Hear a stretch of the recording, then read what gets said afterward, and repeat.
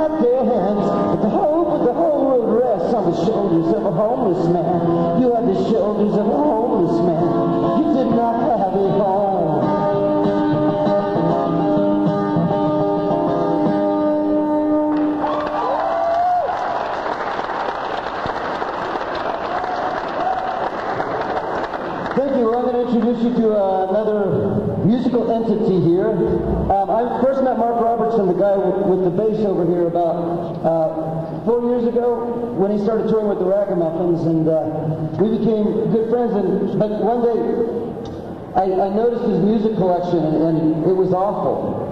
And I, I thought, man, how can this guy be any good if he listens to this kind of junk, you know? And then at the end of the tour, he, he committed this travesty by handing me a tape of his band called This Train. And I thought, oh, great. Now I'm going to have to, you know, go home and listen to it, and then he's going to call me in a couple weeks, and we'll chat a while, and then I'll say, well, what did you think of my tape? And I'll have to say, well, man, it had a really cool cover, and nice little grooves on the back of the CD, and so I, I decided one day to clean, and I thought, oh, oh, I'll just put this on so I can, you know, say I listened to it honestly. And I, I put the tape on, and the first song kicked in, and I stopped cleaning, and I started listening. And it, for the rest of that afternoon, I sat in, in, in my uh, in my house trailer and listened to the uh, to this train for the rest of the afternoon because I was I have never laughed so much in the course of listening to an album. So I hope that you will laugh as well. Because if you don't, you'll probably throw things. This is this train. Hey! Well, let's see. Uh, was you, a couple of you were here last week, right? We were here last week. Um, last week's crowd, you guys, uh, they were a, a tough act to follow. Those guys were really kind of crazy and fun, and, and we had a good time with them. So we hope you're just as fun. And this is a uh, this is a song you will know eventually. You won't recognize this version, but um, once you do, it'll help us a lot if you sing along. So you sing along once you know what it is? You might even dance if you feel like it. That's okay too.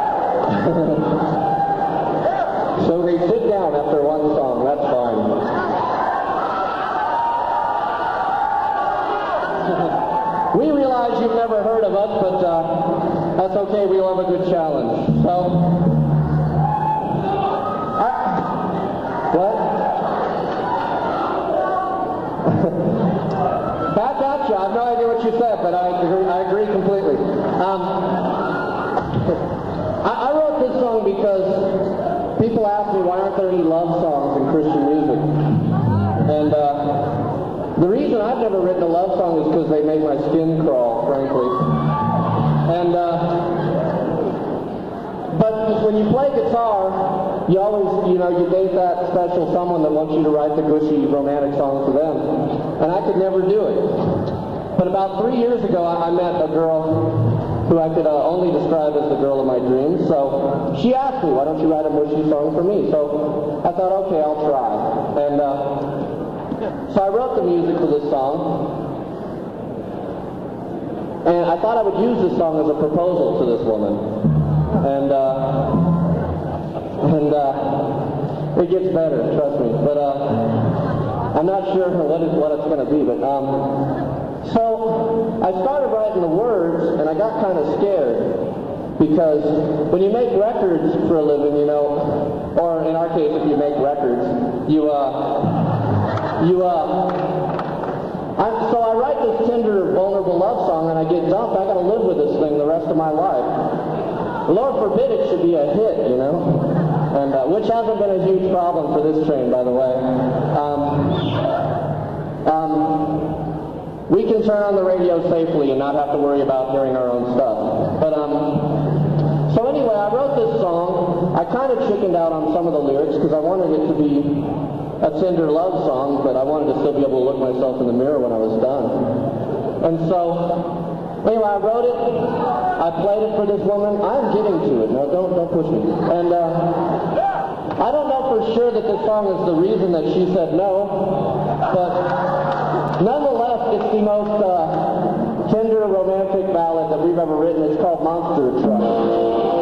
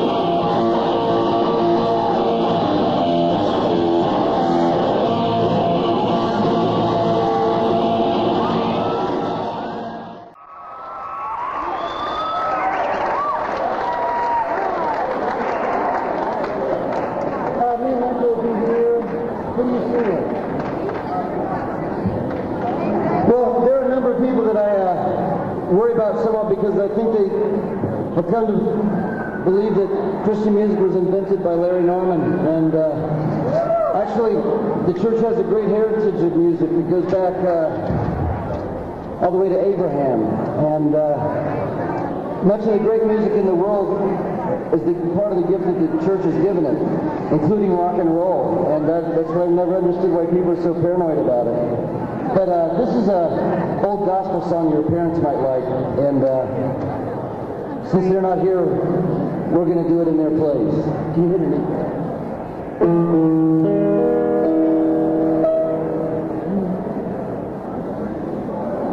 There's not a friend like the lowly Jonah.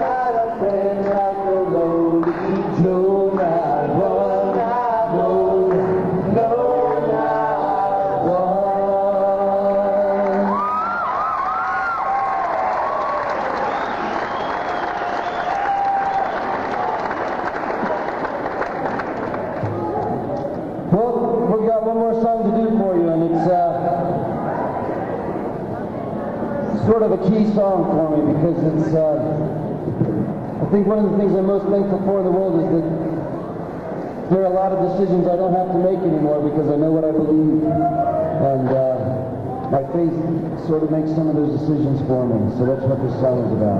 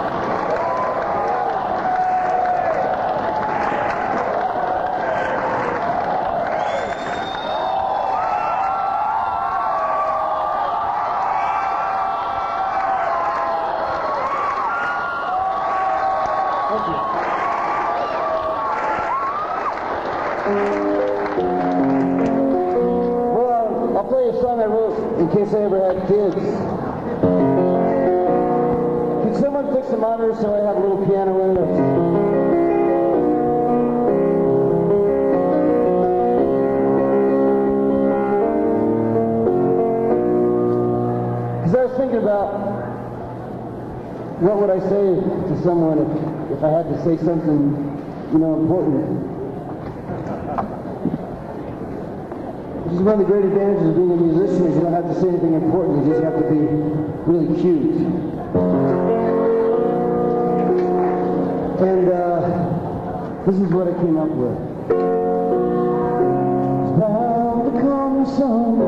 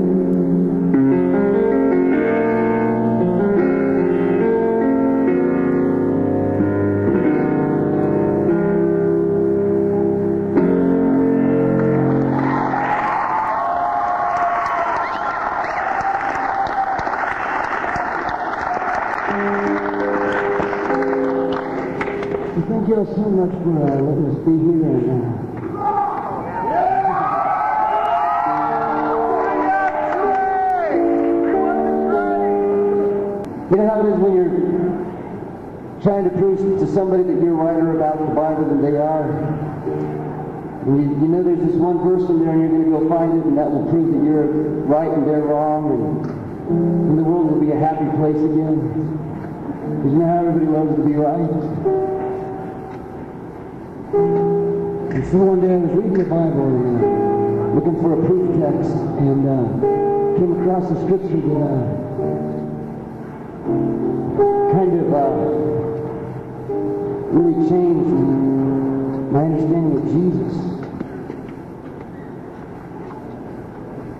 Which I think is what the Bible does. I don't think you have the scriptures, and especially albeit from the Christian Church, Church of Christ. I wish you'd read the Bible that you say you believe in. Jesus told the Pharisees, you search the scriptures thinking that you'll find life. But even they tell you that you don't find life except in me. One of the parts of the Bible that really leaped out at me when I was trying to find something I could clobber someone with was that Jesus saw the masses and he was moved with compassion because they looked like sheep who didn't have a shepherd. I tell you what, I look out at you guys, and I know who your parents are. And I know who you turn to for security. I know who tells you whether to smoke, whether to be a virgin, whether to be a slut, whether to wear this kind of jeans or that kind of jeans. And you mind them. If You people are the most obedient, spineless generation in the universe. You were more under the thumb of MTV and GQ and idiot politicians anyone I've ever met.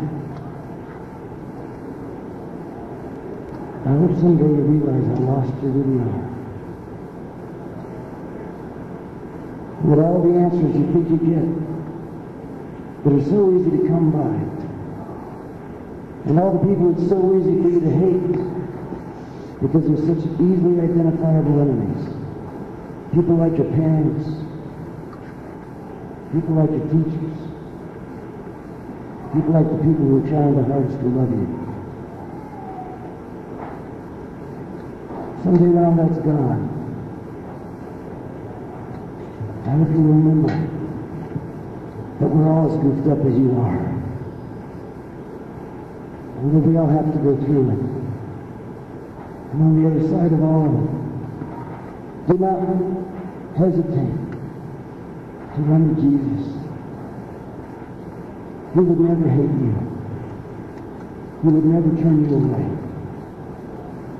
He will change you. He will eventually kill you if you're lucky. But once you've died, once Christ has made you holy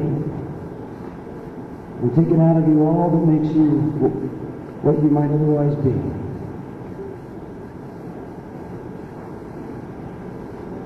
you won't regret a moment of your walk with Jesus. And until that happens, don't hesitate to be with Jesus because he hasn't yet made you holy. Or because he's hard to find. Because he really is there. And he's not Oral Roberts. He's not going to amaze you with his miracle power.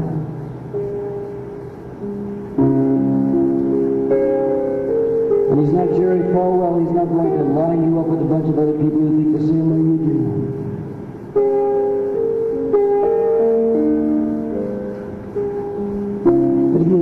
Lover in the world whose love really changes our lives. I hope you find him.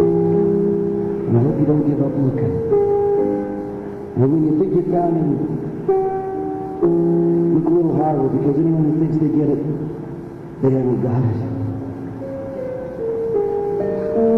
But don't despair because he's got you.